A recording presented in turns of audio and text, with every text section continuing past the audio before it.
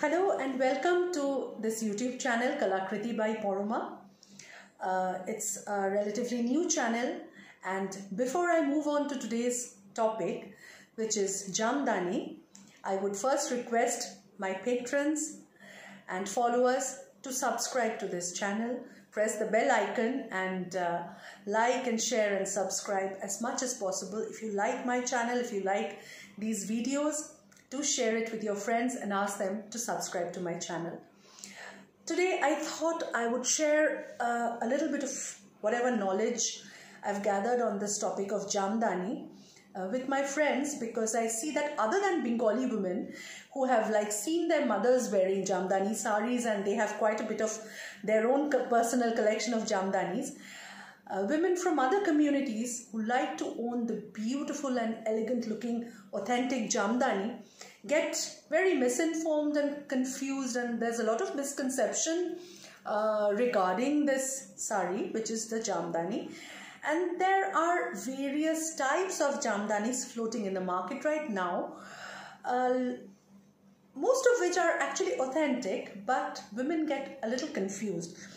Let me first tell you that I'm not a weaving or a textile expert, but being a handloom enthusiast and being very passionate about saris myself, I have um, I have uh, a decent collection of jamdanis myself from bought from uh, many parts of India, yes, from North and from South India and from Bangladesh. And today I will share that knowledge with you and uh, so that that will help you to select what kind of jamdani you want to wear and what exactly you want to buy and whether you know identifying whether that jamdani is an authentic one which means that whether it's properly it's it's authentically handmade handloom or it's made in a power loom so first I will tell you that the Jamdani weaving technique flourished in undivided Bengal when uh, modern Bangladesh and West Bengal was undivided. And the Jamdani is a very, very ancient weaving technique. Ancient means it flourished under the Mughals. It flourished under uh, the weavers who wove the finest cotton, which was muslin at that time. Uh, that weaving technique was practiced all over Bengal and depending on the area in which it was woven, that very Jamdani technique, uh, you know, differed from one place to another. Like there is the Tangail Jamdani weaving technique, which is based on a finer cotton and which uh, uses slightly different motifs than the Dhakai Jamdani which was woven in Narayanganj in and around Dhaka. It still is of course. It uh, falls in Bangladesh right now after the partition. And the Tangail Jamdani uh, technique is practiced in West Bengal and uh, right now it is known as the Fulia Jamdani which of course is what exactly I am wearing right now. This is actually the old Tangail Jamdani and this is a Jangla, Jangla motif. The base is that of a very very fine bengal cotton. This is one of the finest bengal cottons. Mind you it's not it yes it was slightly starched in the beginning but i've worn this sari many many times it is not transparent and now it has become very very soft and smooth. It's pure cotton a very very fine cotton. It's not netty and meshy. It doesn't have a mosquito net sort of a texture. And it's very very fine. And one sure shot way of identifying an authentic hand-woven jamdani like any other sari is check its reverse side. This is the front side and this is the reverse side. You will not find a single extra thread which is, you know, you won't uh, find extra threads which have been cut like you find in a cut work sari or loosely hanging from here and there it's just like, you know, the sari and the design is woven onto each other. It's like a print. From a distance, it might look like a print, but it's a robust weave and it's it's very, very beautiful and it's almost like, you know, the design is etched onto the body of the sari. This is the Jangla pattern and I'll show you the uh, palla. This is the achal of the sari. See how beautiful it is. it's from my personal collection i bought it like five six years back i've worn it many many times it's a deep midnight blue with an all over work see you won't find a single extra thread this part still has a bit of starch onto it but this part has become very very soft. And you know I like it that way. So I'm not starching it anymore right now. It's very very comfortable and very gorgeous. Of course ideal for summer. Ideal for I would say nine months a year in our kind of weather.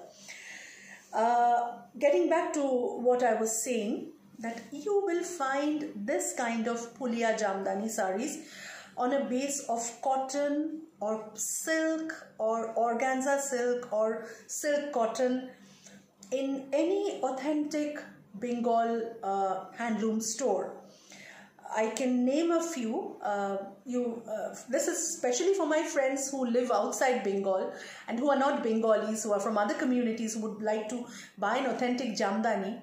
If you're not visiting Kolkata and if you're in any of the metro uh, metro uh, cities, you can look for the Biswa Bangla store, which of course has a, uh, West Bengal government management.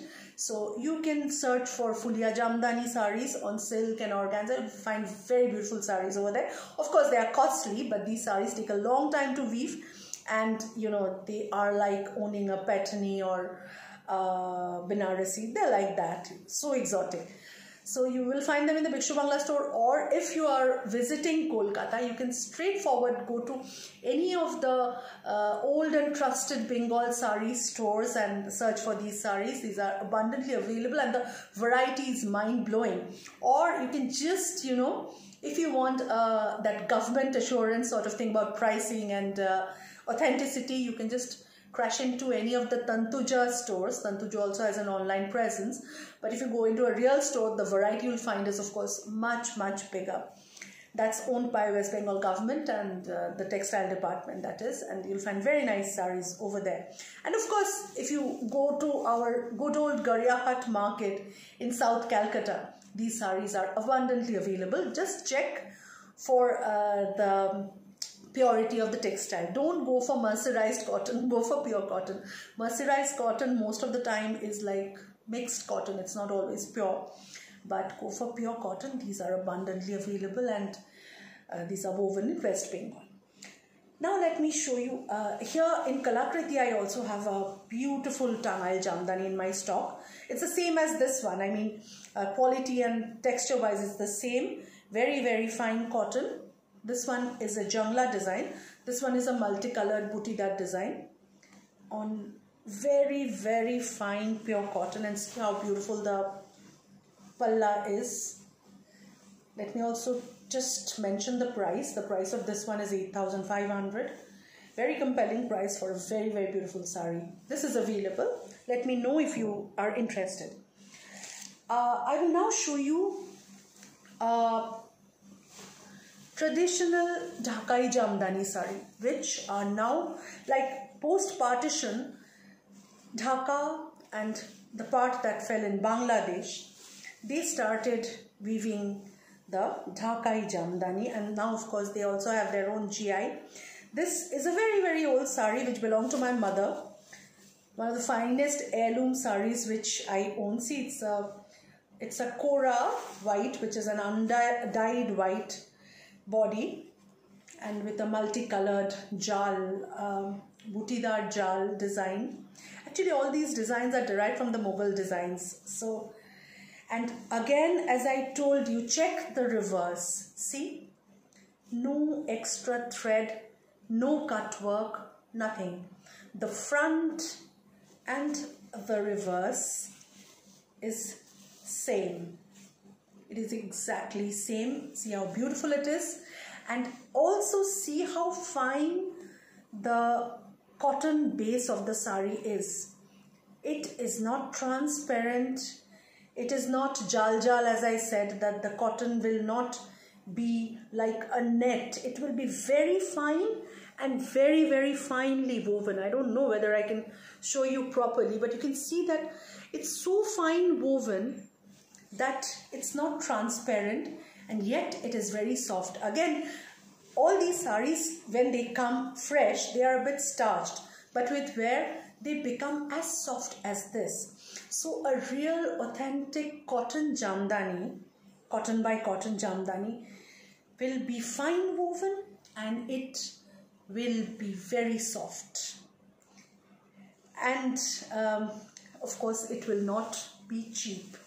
It will not um, come cheap because as I said these threads are very fine and they take a very long time to weave. A Saris like this which if you want to buy now like the one I just showed it will cost you close to 40 to 50,000 rupees in Indian currency and because these saris take two three months to be woven and the thread is very very fine um, I don't keep saris like this in my collection but of course there are many others who keep them and of course there are authentic places from where you can buy just check for the quality and go for pure cotton.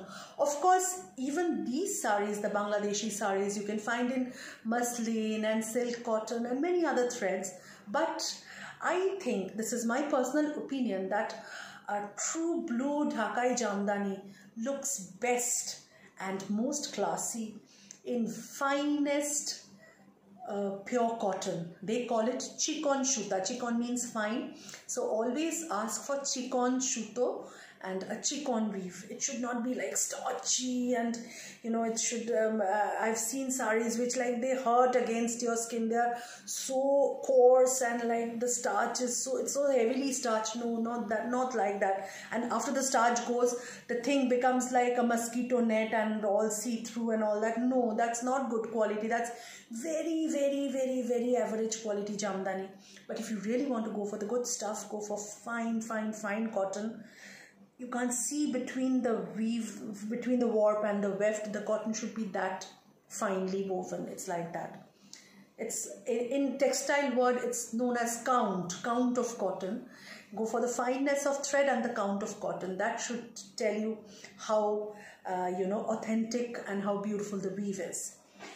I'll show you another variety. This uh, has of late come into fashion this is the andhra jamdani here, this of course is a personal sari. I have bought it from uh, when Gaurang's Jamdani became very fashionable. I bought one from the Gaurang collection. This is a six, seven year old sari. This has a Jamdani woven pallu and uh, it has actually it's called the Andhra Jamdani but they have actually taken the Bengal Jamdani weaving te uh, technique and infused it with the Andhra technique of Gadwal sari weaving where the body is cotton and the border is silk. And see how beautifully they have woven it with the temple. This is silk but you know this is cotton this is silk. So this is the uh, gadwal weaving technique. So Gaurang being one very uh, designer keeps on innovating. First introduced this technique and he you know kind of embellished the pallu with a jamdani pallu and his jamdani became hot on the international ramps so you will find a lot of andhra jamdanis also. Again what i said check for the reverse. You won't find a single extra thread. It's just like a painting on a piece of cloth. It is so beautiful so this is the Andhra Jamdani which you will find a lot of Gaurang saris and of course there are a lot many other uh, weavers who are making saris like this also. This, this as I again showed is the Dhakai Jamdani on cotton. This is the Tangail Jamdani which is woven in fulia. This is a butidar design and the one I'm wearing is also a jangla design which is woven in fulia. This is also a fulia jamdani. I hope I've made you a little, oh, the most important point which I wanted to share with you is uh, there are jamdanis known as soft dhakais, soft jamdanis, cutwork jamdanis. These are not authentic. Mind you, in Kalakriti by Paroma, I have also sold many of these because they sell like hot cakes. Just because they're extremely pocket friendly they come in beautiful colors. But mind you they are power loom woven. Uh, they are not uh, handloom saris and they have mixed because they are power loom woven they have a mixed thread in them, not always pure cotton. How to check that? Soft dhakai or soft jamdanis have a mixed thread which makes them soft to touch initially. They are not starched. That is why they are very popular, but they are also not pure cotton. And as I said, not entirely hand woven. They are loom woven and you check by checking the reverse. You will see cut work threads. They are also very, very pocket friendly. They are very inexpensive.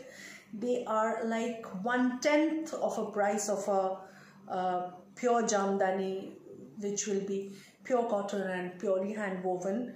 Uh, having that sort of an elaborate design to have an authentic jamdani you have to pay 10 times as much but uh, so many people buy that if they don't have the budget for a real jamdani. But mind, let me tell you, if you want to uh, invest in a real jamdani, I'm sure everyone wants to have a proper, a pure and authentic jamdani in their wardrobe, in their collection. Be prepared to pay a good price, the price, the budget that you might have for a Benarasi or a Kanjivaram or a silk please do pay that price to have an authentic fulia or a dhakai jamdani with that budget. Because mind you you are not only paying for a sari you are paying for two to three months worth of intense hard labor. You're paying for a very very old art weaving technique you're paying to keep that alive and you're saving you're standing by an entire weaving family and entire weaving community. Thank you and have a safe time till we go back to a safer and a better world post this pandemic of coronavirus. All of you stay safe. Keep watching Kalakriti. Keep following Handloom and keep supporting Handloom and handcrafted art. Thank you. Thank you for watching my video. If you like, please subscribe. Thank you.